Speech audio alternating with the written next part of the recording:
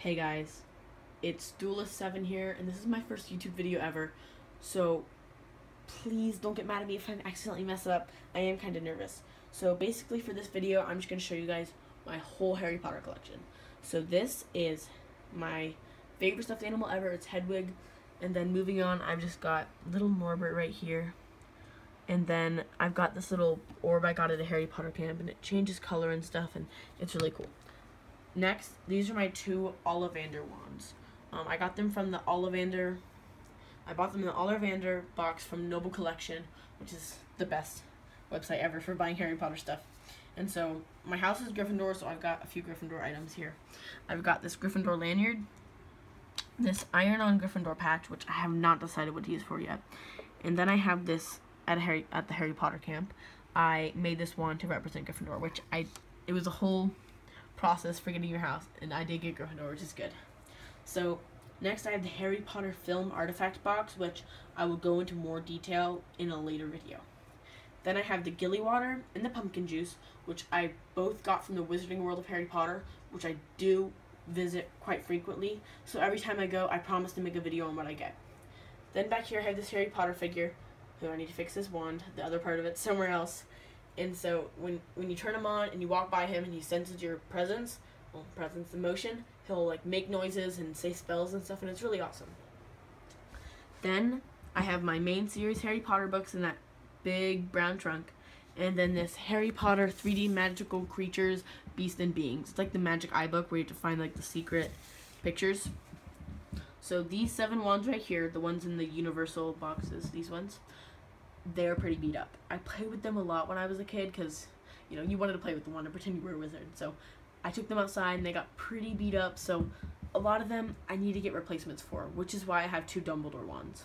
So starting with, I have my first Dumbledore wand, then Ron Weasley, Hermione Granger, Voldemort, Ginny, Harry, Sirius. These ones over here, these seven, are in a lot better condition. None of them really have anything on them. There's Snape, Malfoy, Professor Lupin, Professor Slughorn, Bellatrix, Professor McGonagall, who is in my top three favorite characters, and Victor Krum. Now down here, these are the Noble Collection ones. I've got Cedric Diggory, the Snatcher Wand, Grindelwald, the Death Eater Stallion, Luna Lovegood, and Gregorovitch. Now, I do have these wands on display right here. Um, I've got the 10 wand set, and I will go into detail on these ones later because they're all in perfect condition basically. So I have the 10 wand set and I haven't filled it up yet. I still have four more spaces, so I'm working on it, I promise. Now, then I have the snitch up there, which is just like, I just bought it at a, uh, Barnes & Noble and I just, I really liked it. So I just leave it up there because I think it looks cool. Then down here, I've got this Harry Potter postcards books. I've got three of them. Um, then I've got this Honeydukes bag, like you like you fill your own with candy, and then you buy it.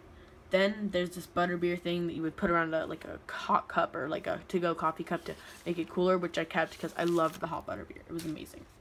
So I have this Harry Potter, Tales of Beedle the Bard book.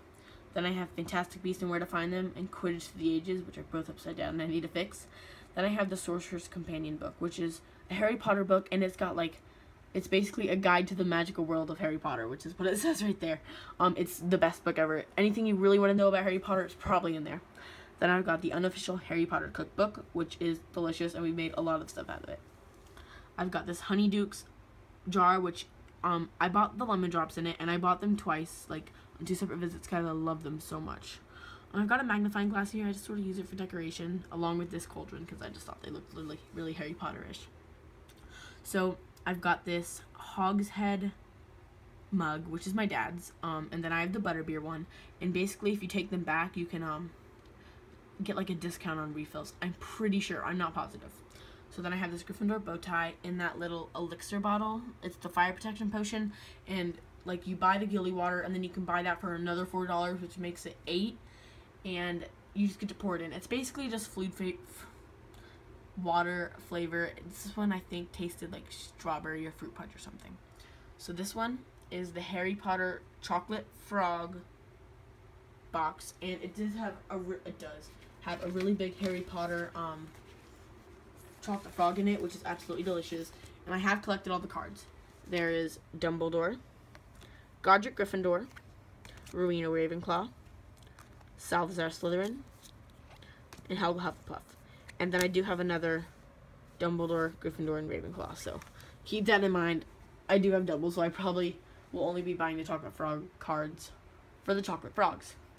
Now, the next thing that I have right here is this Dumbledore Ar Dumbledore's Army Messenger Bag, which I love.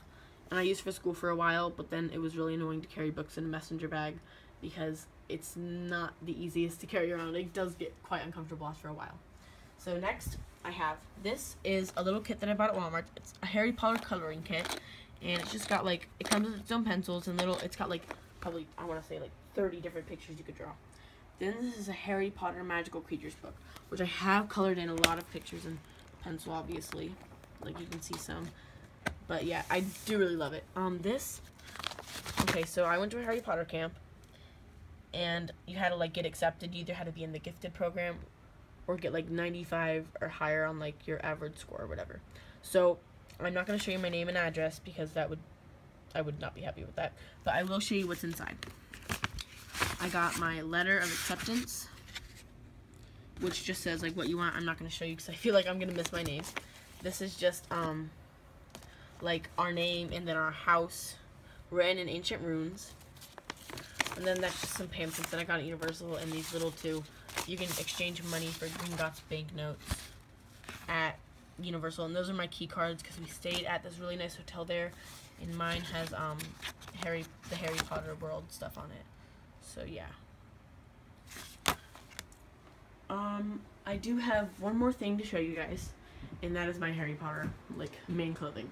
So I have this Gryffindor hat, which is absolutely the most comfortable hat to wear ever mostly because it's Harry Potter.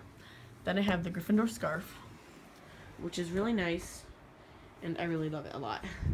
Next, I have the $100, which I was so nervous to buy. I actually have two, one when I got when I was a lot younger, and then this Gryffindor one. It does have a wand holder, which is the coolest thing ever. So next, I have, it's not even really have to do with Harry Potter, but it's like this red throne chair that I keep in my room, and I love it. It's like the best chair ever. Um, it's the most comfortable. We actually found on the side of the road, which is a really funny story. Um, I do have two more things to show you guys. Right here, I've got the Ollivanders bags that come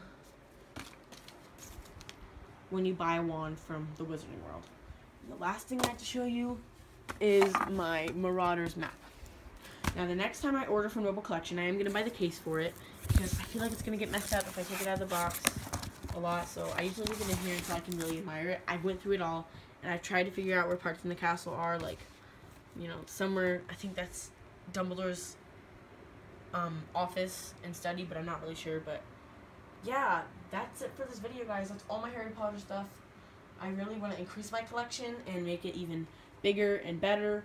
So yeah, to do that, just to tell me what you want, um, comment on what you want to see in more detail and then like, comment, subscribe, please, because this is my first video, so I'm waiting for it.